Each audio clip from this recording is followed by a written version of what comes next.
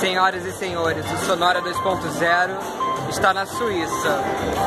Mentira, a gente não está na Suíça não, a gente está no Pierre Mauá, pro Rio Montreux Jazz Festival. E eu vim curtir essa vibe aqui com meu amigo Andrei. e vocês estão convidados para vir com a gente. Vem comigo!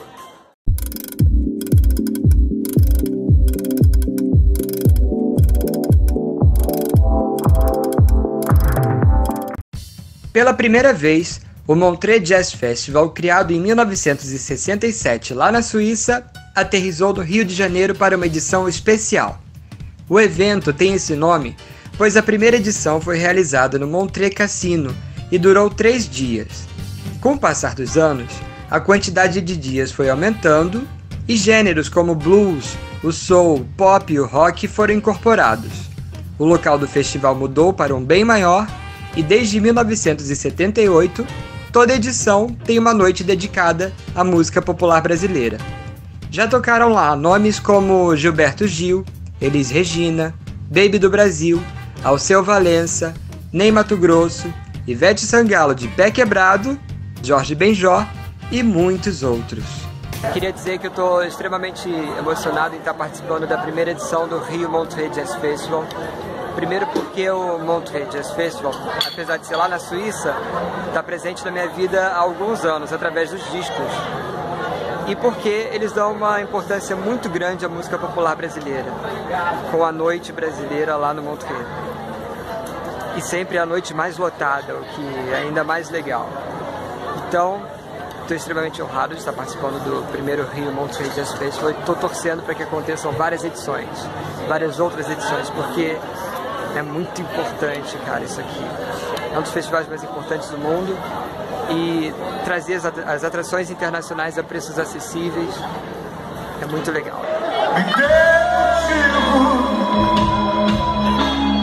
Uma das principais atrações dessa edição carioca do Montreux foi o cantor Frejá. Ele apresentou a setlist da turnê Tudo se Transforma, com sucessos dos tempos do Barão Vermelho e da carreira solo.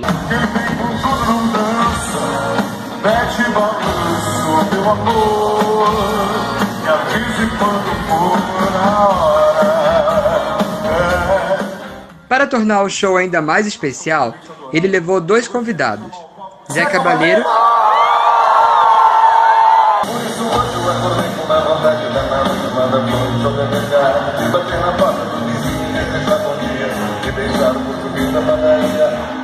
e Pete, que cantaram seus sucessos em versões um tanto diferentes.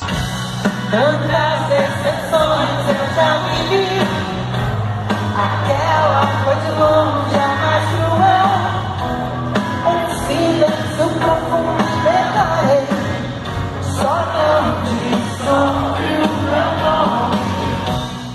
Aqui tem um pôster com todos os posters festivais, todos vão três dias festival, pra galera tirar uma foto. Vem comigo! Mas a grande atração do Rio Montreux foi a inglesa Corinne, que canta essa música aqui, ó.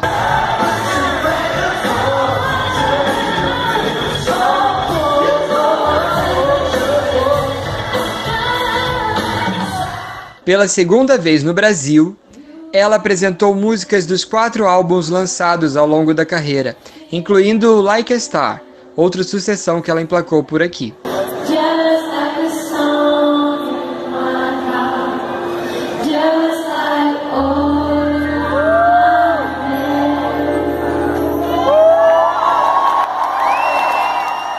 Ela ainda cantou uma versão super original de Is This Love do Bob Marley.